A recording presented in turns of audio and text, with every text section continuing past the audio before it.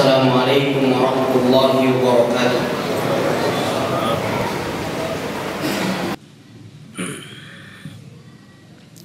إن الحمد لله نحمده ونستعينه ونستغفره. ونعوذ بالله من شرور أنفسنا وسيئات أعمالنا. من يهده الله فلا مضل له ومن يضلل فلا هادي له. أشهد أن لا إله إلا الله وأشهد أن محمدا عبده ورسوله. قال الله تعالى يا أيها الذين آمنوا اتقوا الله حق تقاته ولا تموتن إلا وأنتم مسلمون. وقال يا أيها الناس اتقوا ربكم الذي خلقكم من نفس واحدة وخلق منها زوجها وبث منهما رجالا كثيرا ونساء. واتقوا الله الذي تساءلون به والأرحام إن الله كان عليكم رقيبا. وقال يا أيها الذين آمنوا اتقوا الله وقولوا قولا سديدا.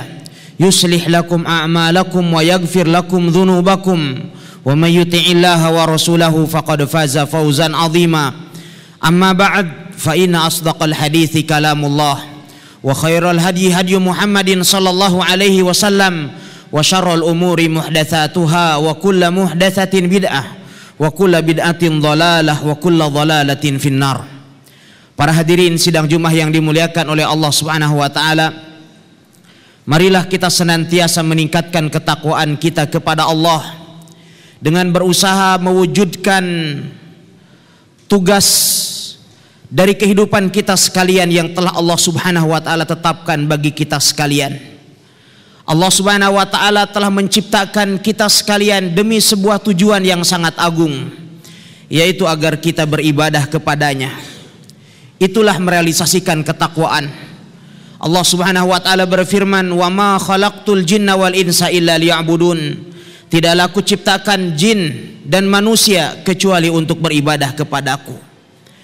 Namun dalam praktiknya di dalam praktik beribadah kepada Allah Azza wa Jal manusia terbagi menjadi beberapa kelompok. Kelompok pertama mereka adalah mereka yang tidak mengabaikan tugas ibadah tersebut sehingga ia tidak lagi menjalankan tugas-tugasnya sebagai hamba Allah. Dia jauh dari nilai-nilai agama dan siratal mustaqim yang telah Allah Subhanahu wa taala perintahkan agar kita lalui. Kelompok kedua, mereka adalah orang-orang yang berlebihan di dalam beribadah sehingga kemudian mereka menganggap sesuatu yang semestinya tidak dia lakukan sebagai bentuk ibadah, dia memandangnya justru merupakan bagian daripada ibadah. Dan tentu kelompok yang ketiga adalah kelompok yang ada di pertengahan di antara kedua kelompok tersebut. Mereka yang beribadah kepada Allah Subhanahu wa taala di atas basirah, di atas petunjuk Al-Qur'an dan sunnah Nabi sallallahu alaihi wasallam. Para hadirin sidang Jumat yang dimuliakan oleh Allah Subhanahu wa taala.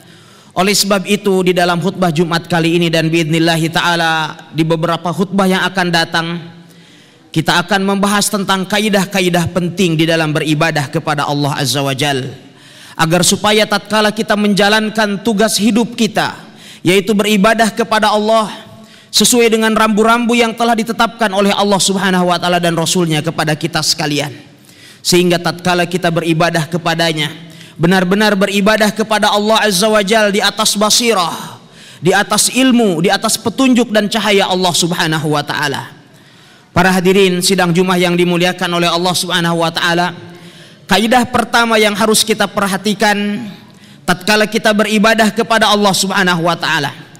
Para ulama mengatakan ayu ibadatin ya'ta'abbadu hal 'abdu biha li rabbih sawaun kanat qalbiyah aw lisaniyah aw badaniyah la budda an takuna khalisan lillahi azza wa jal.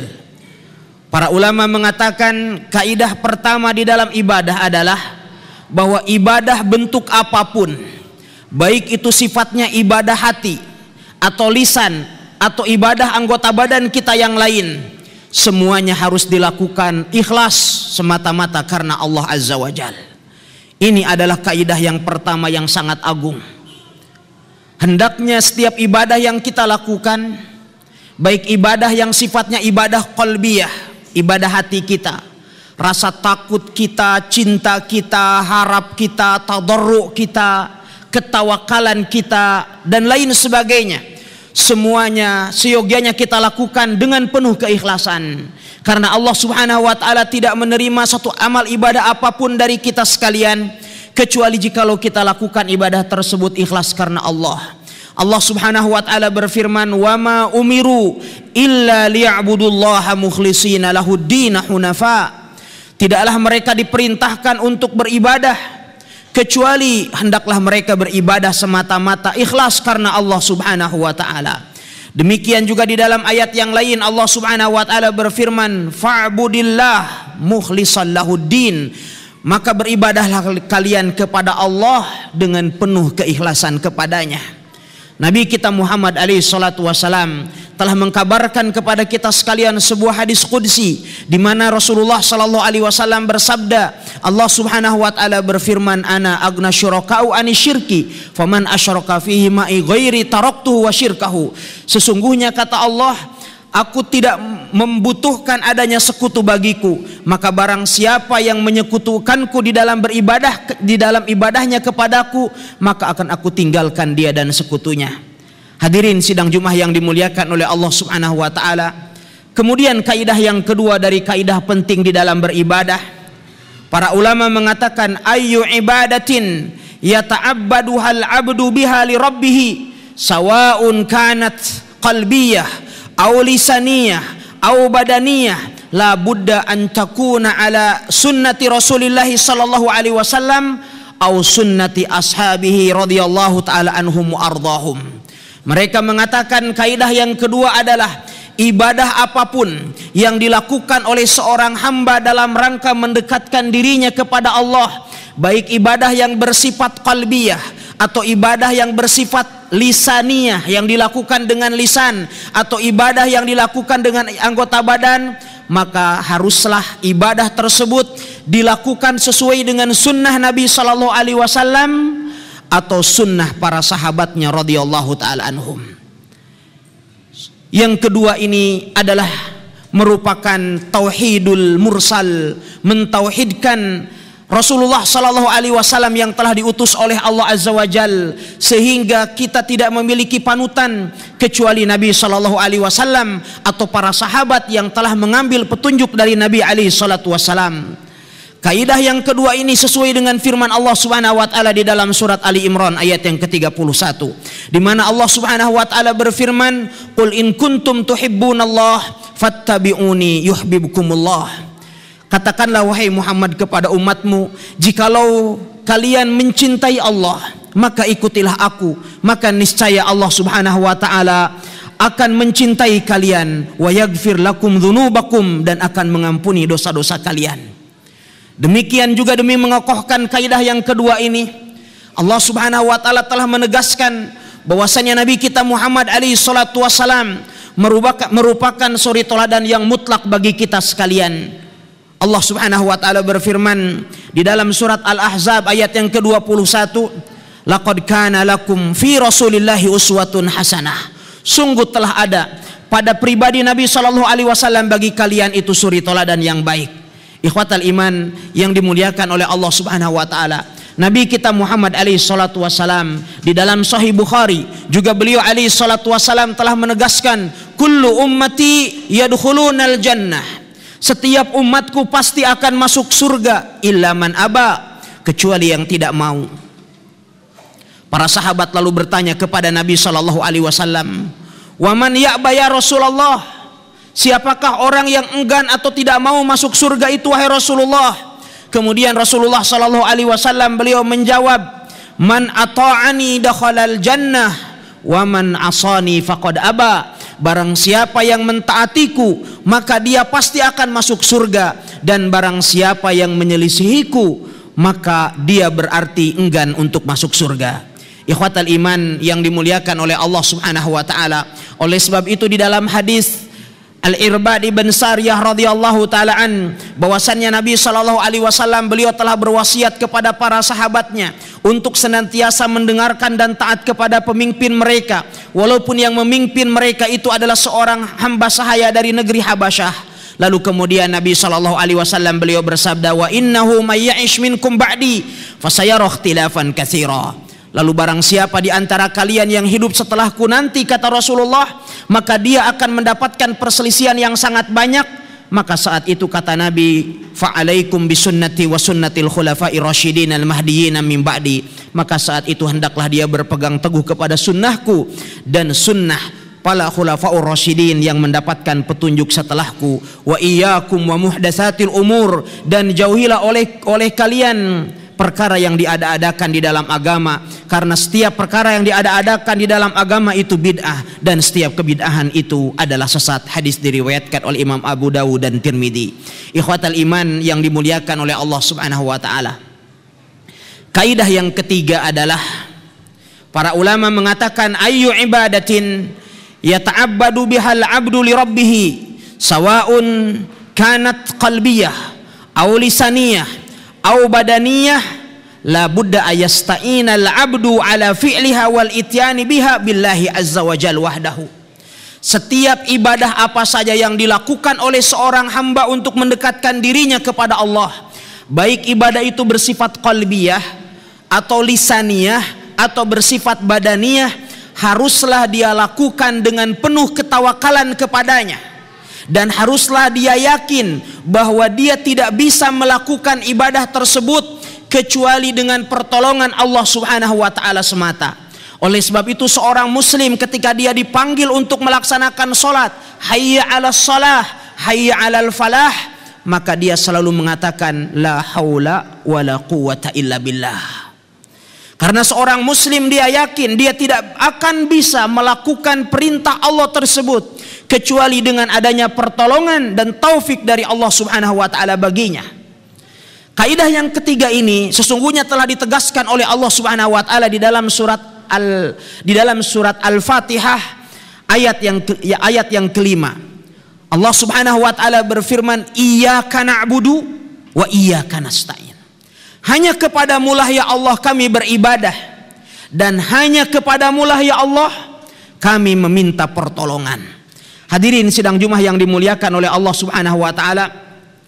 Al-Imam Ibnul Qayyim rahimahullahu taala di dalam kitabnya Ighasatul Lahfan dia mengatakan fal amru kulluhu lahu wal hamdu kulluhu lahu wal mulku kulluhu lah wal khairu kulluhu fi yadayhi La yuhsi ahadun min khalqihi sana'un alaih bal huwa kama asna ala nafsih wa fawqa ma yusni alaihi kullu ahadin min khalqih wa li kana salahul abdi wa sa'adatuhu fi tahqiqi makna iyyaka na'budu wa iyyaka nasta'in. Seorang mukmin dia yakin bahwasannya segala urusan itu milik Allah. Segala pujian, seluruh kerajaan, seluruh kebaikan semuanya di tangan Allah Subhanahu wa taala.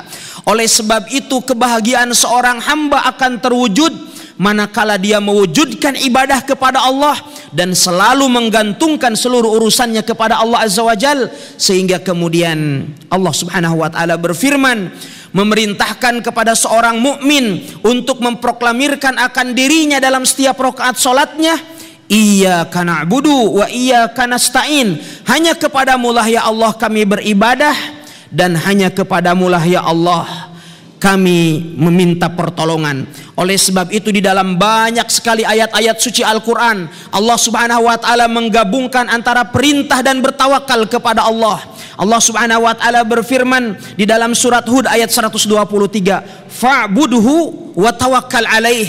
Maka beribadahlah engkau kepadanya dan bertawakallah kepadanya. Demikian juga ketika Allah Subhanahu wa taala mengkisahkan tentang salah seorang nabinya yaitu Syuaib alaihi salam, beliau mengatakan, "Wa ma taufiqi illa billah, alaihi tawakkaltu wa ilaihi unib." Dan tidaklah aku mendapatkan taufik untuk melakukan kebaikan kecuali dari Allah. Aku bertawakal kepadanya dan aku kembali kepadanya.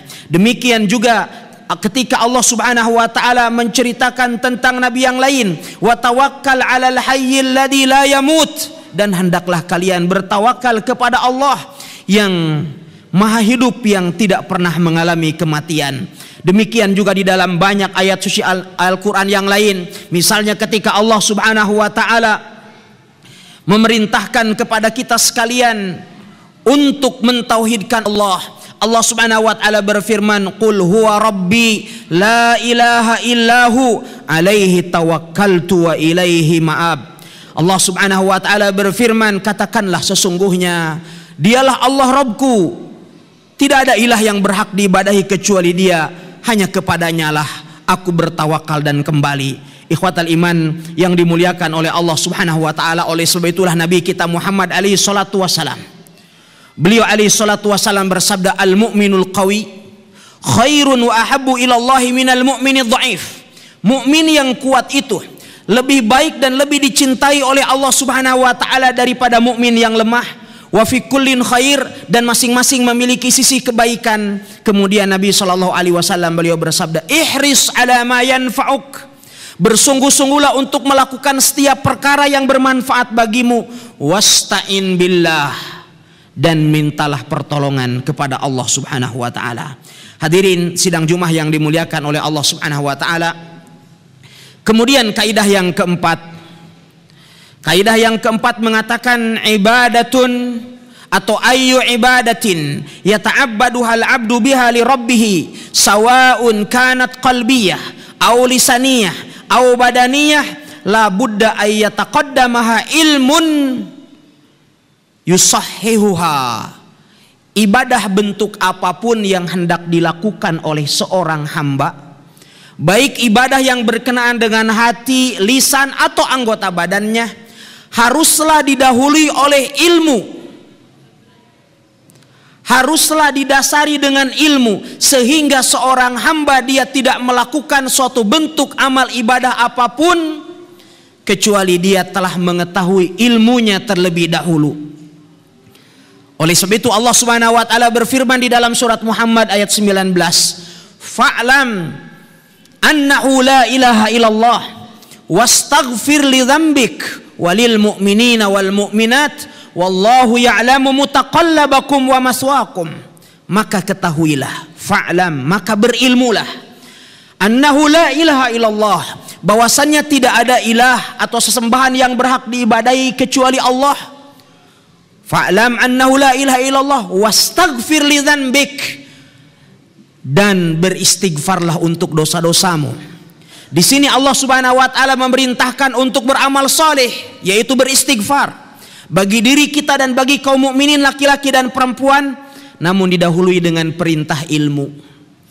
Oleh sebab itu Al-Imam Muhammad ibn Abdul Wahab rahimahullah di dalam risalah beliau Al-Usul Al-Usul As-Salasah di dalam risalahnya tentang tiga landasan utama, beliau menyebutkan di mukaddimah pembahasan kitab tersebut, ketahuilah sesungguhnya ada empat perkara yang wajib diketahui oleh seorang hamba. Yang pertama adalah haruslah kita berilmu. Kemudian yang kedua beramal. Yang ketiga dia hendaklah berdakwah dan yang keempat haruslah dia bersabar ketika dia menuntut ilmu, ketika dia beramal dan ketika dia berdakwah di jalan Allah Subhanahu wa taala. Kemudian beliau menyebutkan perkataan dari Al-Imamul Bukhari rahimahullah di dalam kitabnya Kitab Sahih Bukhari. Beliau mengatakan al-ilmu qabla al-qawli wal amal. Ilmu itu haruslah mendahului perkataan dan perbuatan. Hadirin sidang Jumat yang dimuliakan oleh Allah Subhanahu wa taala. Kemudian berikutnya kaidah yang kelima yang akan kita bahas pada kesempatan yang berbahagia ini adalah para ulama mengatakan laisa lil ibadati zamanun muhaddadun yantahi ilaih wa tawaqqafu indahu balil abdu mulzamun bi ibadati rabbih illa an tufariqa ruhuhu jasadah sesungguhnya ibadah itu tidak memiliki batasan waktu sehingga ia terhenti padanya. Akan tetapi seorang hamba diperintahkan untuk beribadah sampai kematian datang menjemputnya. Ikhwatal iman yang dimuliakan oleh Allah Subhanahu wa taala. Di sana ada sekelompok manusia yang menyatakan bahwasannya tugas ibadah seorang hamba itu bisa berhenti sampai apabila seorang hamba mencapai tingkatan tertentu dalam keyakinan. Mereka berdalil bahwa apabila seorang hamba telah mencapai tingkatan tertentu, maka dia tidak perlu lagi beribadah. Apabila sudah sampai kepada tingkatan hakikat atau makrifat atau ke, atau tingkatan lain yang mereka kenal maka kata mereka tidak perlu lagi beribadah. Padahal hal ini sangat bertentangan dengan firman Allah Subhanahu wa taala di dalam surat Al-Hijr. Allah Subhanahu wa taala berfirman wa'bud rabbaka hatta ya'tiyakal yaqin beribadalah engkau kepada Rabbmu sampai datangnya kepadamu keyakinan Keyakinan menurut mereka adalah keyakinan pada tingkatan tertentu. Padahal keyakinan yang dimaksud di dalam ayat yang mulia ini adalah kematian. Hal itu sebagaimana dikatakan oleh Al-Imam Ibnul Qayyim rahimahullahu taala di dalam kitab Madarijus Salikin ketika beliau menjelaskan firman Allah Subhanahu wa taala wa'bud rabbaka hatta ya'tiyakal yaqin Al-Imam Ibnul Qayyim mengatakan dan para ulama telah bersepakat bahwa yang dimaksud dengan keyakinan di situ adalah kematian.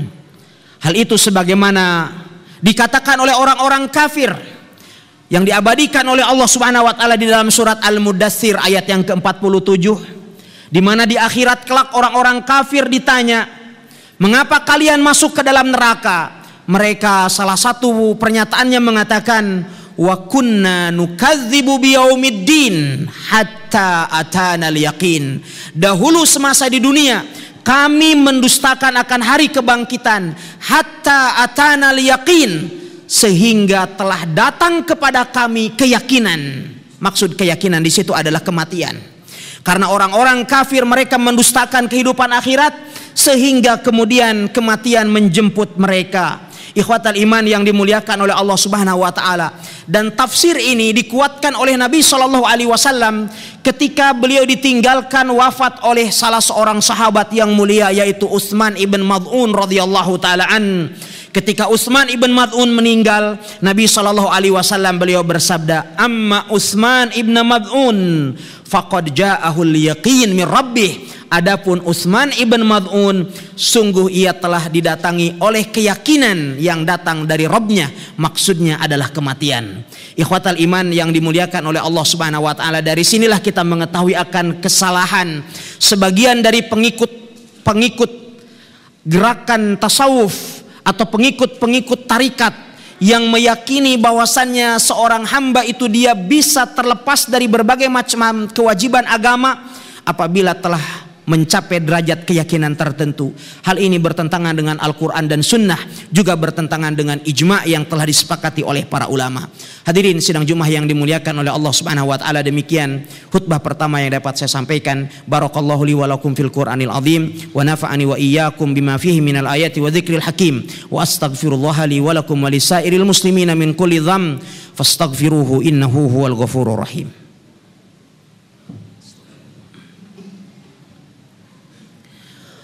الحمد لله على إحسانه وشكر له على توفيقه وامتنانه أشهد أن لا إله إلا الله وحده لا شريك له تعظيما لشأنه وأشهد أن محمدا عبده ورسوله الداعي إلى رضوانه فصلوات ربي وسلامه عليه وعلى آله وصحبه ومن تبعهم بإحسان إلى يوم الدين أما بعد Para hadirin sidang Jumat yang dimuliakan oleh Allah Subhanahu wa taala. Marilah kita meningkatkan ketakwaan kita kepada Allah dengan cara berusaha untuk memahami agama ini dengan benar sehingga kita bertakwa dan beribadah kepada Allah di atas basirah, di atas hujah, di atas ilmu dan contoh dari Nabi Shallallahu Alaihi Wasallam. Di khutbah pertama tadi telah kita jelaskan tentang lima kaidah dasar di dalam beribadah. Kaidah pertama bahwa ibadah harus dilakukan dengan ikhlas. Kaidah yang kedua, ibadah harus dilakukan sesuai dengan sunnah. Kaidah yang ketiga, ibadah harus dilakukan dengan penuh ketawakalan kepada Allah. Kaidah yang keempat, ibadah harus dilakukan atau harus didahului dengan ilmu pengetahuan yang menjelaskan kepada kita sekalian tentang ibadah yang hendak kita lakukan.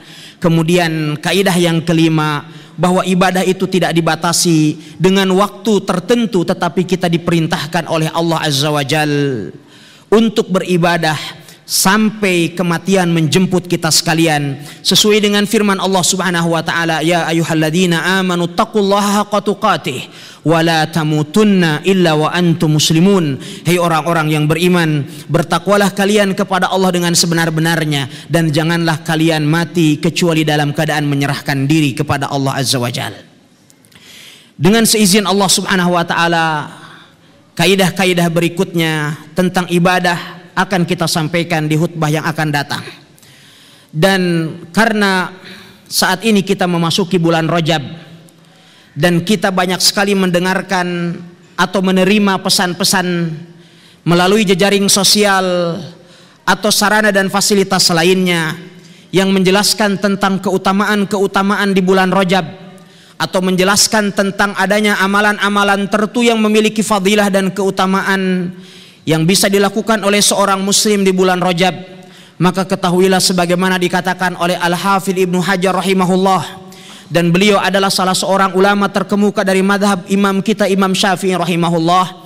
Beliau mengatakan ketahuilah seluruh dalil seluruh hadis yang menjelaskan tentang keutamaan-keutamaan bulan Rajab. Atau di sana ada amalan-amalan yang utama yang sifatnya khusus dilakukan pada bulan Rajab.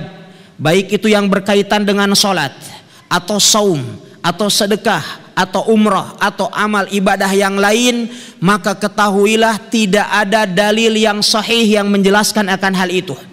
Tetapi seluruh dalil-dalil yang menjelaskan tentang adanya amalan-amalan khusus di bulan Rajab semuanya hadisnya palsu atau sangat lemah sehingga tidak dapat dijadikan sebagai hujah dan argumen untuk mengamalkan amalan-amalan tersebut Sebagaimana kita ketahui bersama bahwasannya di dalam di bulan Rajab di kalangan sebagian kaum muslimin di sana ada solat yang dinamakan dengan solat rogoib yaitu solat yang dilakukan pada Kamis pertama dari bulan Rajab yang dilakukan antara maghrib dan isya. Riwayat-riwayat dari solat rogoib itu pun adalah berkisar antara palsu atau sangat lemah Demikian juga ada umroh yang dinamakan dengan rojabiyah. Sehingga biasanya dari kalangan orang-orang syiah mereka berbondong-bondong melaksanakan umroh pada bulan rojab. Bahkan mereka meyakini umroh pada bulan rojab lebih baik daripada bulan Ramadan. Ini pun tidak memiliki dalil yang sahih. Demikian pula berkenaan dengan melaksanakan saum di dalamnya atau sholat tahajud atau lain sebagainya bahkan perayaan Isra dan Mi'raj maka semuanya itu tidak memiliki dalil-dalil yang sahih dari Al-Quran atau juga dari sunnah Nabi Sallallahu Alaihi Wasallam. Oleh sebab itu seyogianya kita sekalian sebagai kaum muslimin membangun ibadah kita di atas kaidah-kaidah yang sangat kokoh yang bersumber dari Al-Quran dan sunnah Nabi Sallallahu Alaihi Wasallam sehingga kita tidak beribadah kepada Allah kecuali didasari dengan hujah yang kuat dari Al-Quran atau sunnah Nabi Sallallahu Alaihi Wasallam atau ijma dan qiyas yang sahih. Hadirin sidang Jumat yang dimuliakan oleh Allah, marilah kita perbanyak bersolawat kepada Nabi Shallallahu Alaihi Wasallam sebagaimana hal itu telah diperintahkan oleh Allah Subhanahu Wa Taala di dalam firman-Nya Inna Allah wa malaikatahu yusalluna ala nabi. Ya ayyuhalladzina amanu sallu alaihi wa sallimu taslima. Allahumma salli ala Muhammad wa ala ali Muhammad kama sallaita ala Ibrahim wa ala ali Ibrahim innaka Hamidum Majid. Wa barik ala Muhammad wa ala ali Muhammad kama barakta ala Ibrahim wa ala ali Ibrahim innaka Hamidum Majid. Allahumma rda anil khulafa'i rasyidin al mahdiyyin Abi Bakrin wa Umar عمر وعثمان وعلي. وارض اللهم عن الصحابة أجمعين من المهاجرين والأنصار ومن تبعهم بإحسان إلى يوم الدين. اللهم اغفر للمسلمين والمسلمات الأحياء منهم والأموات برحمتك يا أرحم الراحمين. Allahumma qsim lana min khasyatika ma tahulu bihi bainana wa baina ma'siyatik wa min ta'atika ma tuballighuna bihi jannatak wa min al-yaqini ma tuhawinu bihi alaina masaibad dunya wa matina Allahumma bi asma'ina wa absarina wa quwwatina abada ma ahyaitana waj'alhu al-warisa minna waj'al sa'rana ala man zalamana wansurna ala man adana wa la tusallit alaina man la yakhafuka fina wa la yarhamna. Allahumma Allahumma la taj'alid dunya akbaru hammina wa la mablagha ilmina. علينا ولا إلى النار مصيرنا واجعل الجنة هي دارنا وقرارنا. اللهم إنا نسألك حبك وحب من يحبك وحب عمل يقربنا إلى حبك. واجعل حبك أحب إلينا من أموالنا وأهلنا ومن الماء البارد. اللهم حبب إلينا الإيمان وزينه في قلوبنا وكره إلينا الكفر والفسوق والإسيان واجعلنا من الراشدين. اللهم اللهم اللهم آت نفوسنا تقواها وزكها أنت خير من زكاها أنت وليها ومولاها. اللهم إنا نسألك رضاك والجنة ونعوذ بك من سخطك والنار. اللهم إنا نسألك الهدى والتقى والعفاف والغنى. اللهم اغفر لنا ولإخواننا الذين سبقونا بالإيمان. ولا تجعل في قلوبنا غلا للذين آمنوا. ربنا إنك رؤوف رحيم.